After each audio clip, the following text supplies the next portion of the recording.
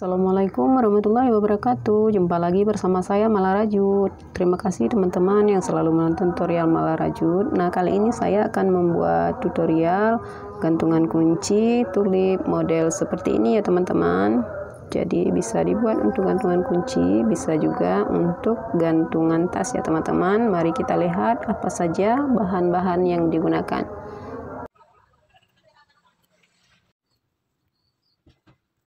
Nah, untuk bahan-bahannya saya menggunakan benang milk cotton ya teman-teman yang ukuran 5 play.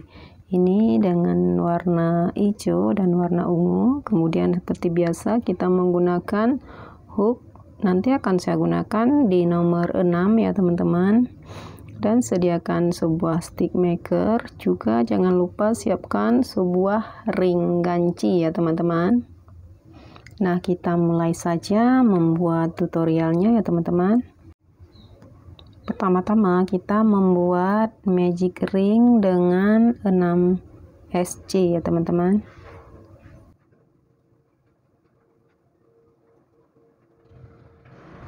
Nah, ini sudah 6 SC teman-teman, lalu kita akan satukan jadi ini kita satukan pada SC pertama ya teman-teman. 2 4 6 di sini.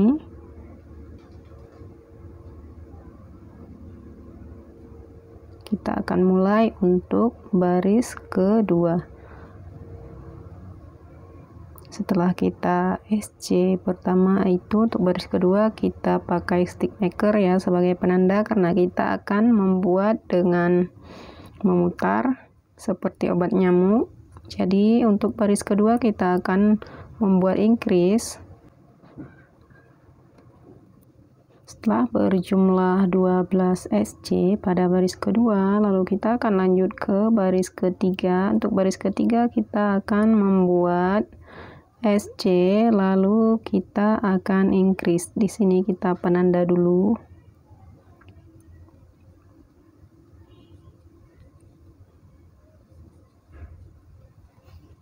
untuk baris ketiga SC Inggris.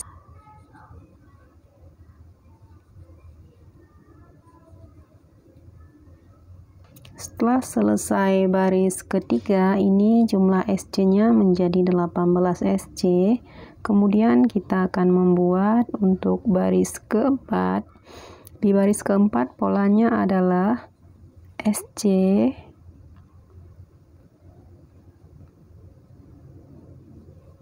increase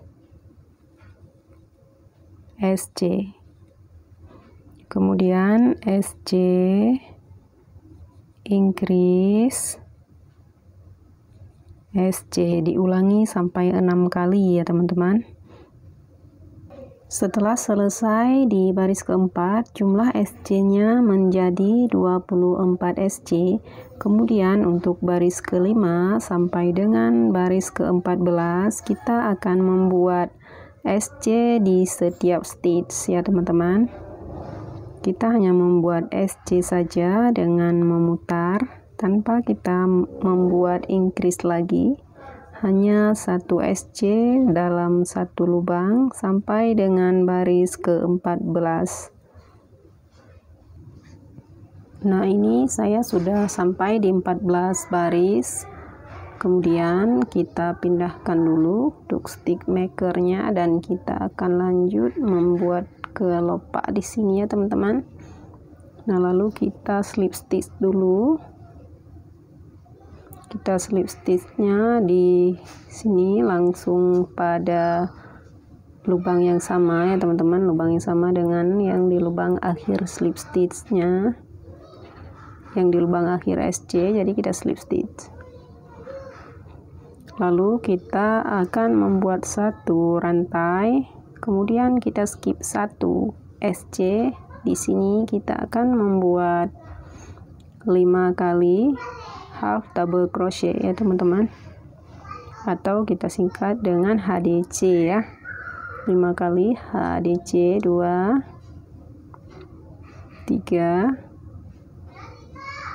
4 5 lalu kita rantai satu kali kita skip satu kali SC kemudian kita slip stitch di lubang setelahnya lalu setelah slip stitch kita rantai sekali lagi. Lalu kita skip satu SC kemudian kita buat lagi double crochet. Maaf half double crochet 5 kali atau HDC kita ulangi cara yang sama lalu rantai satu setelah 5 HDC kemudian kita skip satu dan kita slip stitch di lubang sebelahnya. Nah seperti ini kita ulangi 6 kali ya teman-teman. Ini untuk kelopak yang terakhir teman-teman. Jangan lupa satu rantai dan kita slip stitch skip. Skipnya satu dua ya teman-teman. Karena ini di akhir memang lubang untuk slip stitch jadi kita akan slip stitch pada slip stitch di SC terakhir tadi ya.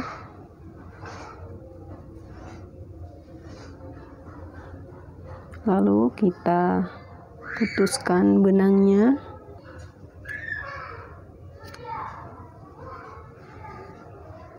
Ini bisa kita rapikan dengan menggunakan jarum tapestry ya teman-teman supaya lebih cantik. Jadi kita akan masukkan ke dalam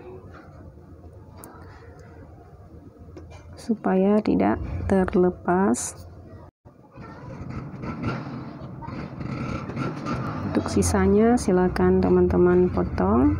Kemudian kita akan membuat bagian daunnya ya atau bagian untuk gantungannya nah untuk bagian gantungan kuncinya kita akan membuat pertama sekali rantai 40 ataupun bisa ditambah sesuai dengan keinginan e, ingin lebih panjang atau lebih pendek ya teman-teman. Jadi 40 itu minimal boleh 45 sampai 50 ya. Ini saya buat 40 1 2 3 4 5 setelah 40 rantai kita akan masukkan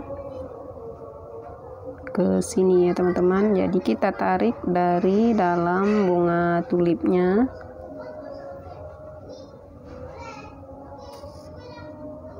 Nah ini sekalian benang untuk merajutnya. Kita tarik ke sini ya teman-teman. Lebih panjang kira-kira cukup untuk kita buat daunnya nah ini sudah terlalu ketat karena tadi ditarik jadi saya akan ulangi di sini. Saya ganti CH nya kemudian ini untuk bagian ujungnya kita masukkan ring gantungan kuncinya. Setelah kita masukkan ring lalu ini akan kita masukkan ke sini juga teman-teman boleh juga menggunakan jarum tapestry untuk memasukkannya. Nah sudah keluar ke sini. Lalu di sini kita satukan ya teman-teman. Di CH awal di sini kita satukan dia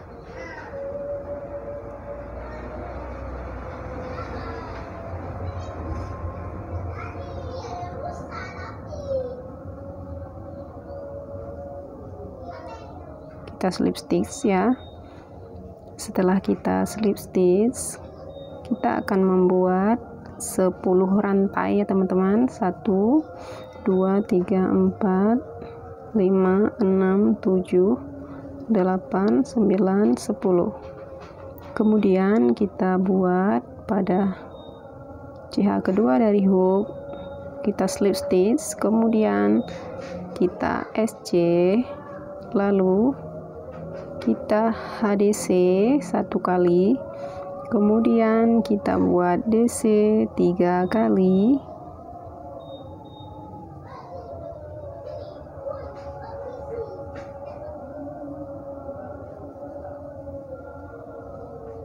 Lalu kita ke HDC satu kali kemudian SC satu kali lalu kita slip stitch satu kali kemudian kita akan mengerjakan di sebelah sini ya.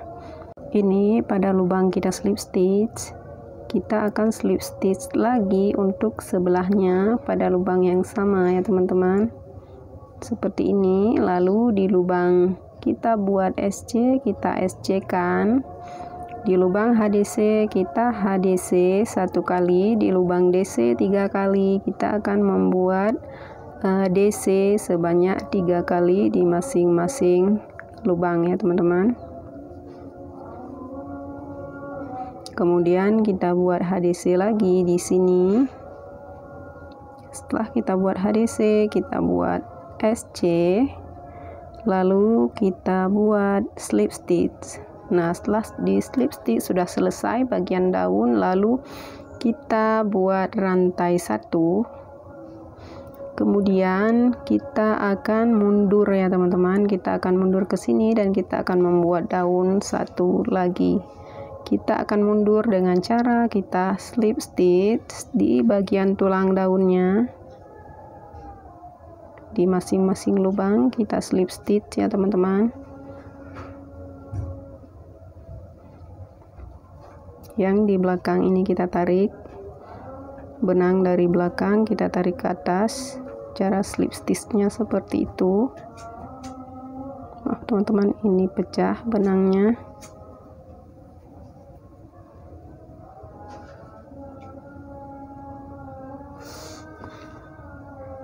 Ini juga kita tarik ke atas. Ini untuk yang terakhir kali kita slip stitch di sini ya teman-teman nah di bagian di bagian apa di bagian SC tadi Nah, setelah seperti ini kita akan sambung untuk daun satu lagi. Kita tetap buat CH 10 kali 2 3 4 5 6 7 8 9 10. Lalu kita ulangi cara yang sama untuk membuat daun di sebelahnya ya teman-teman. Nah ini saya sudah selesai kedua daunnya teman-teman. Jadi saya slip stitch lagi di sini. Yang terakhir pada daun. Jadi itu yang terakhir pada bagian pinggiran ini ya. Pinggiran SC kita tadi di awal. Nah jadi seperti ini seperti ini hasil akhirnya. Jadi ini supaya e, menyatu kedua daunnya pada tangkai. Jangan terpisah seperti ini. Kita slip stick saja pada bagian tangkainya ke sini ya teman-teman. Supaya dia menyatu dua daunnya. Nah seperti ini. Lalu selesai kita potong benangnya. Ini tinggal kita rapi-rapikan saja benangnya ya teman-teman. Ujung benang yang tersisa.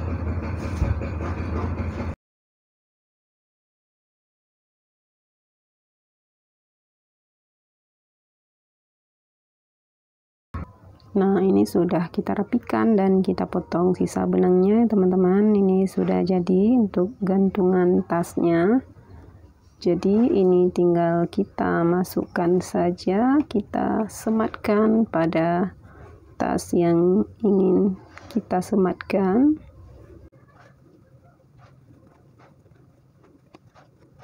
Nah seperti ini ya teman-teman.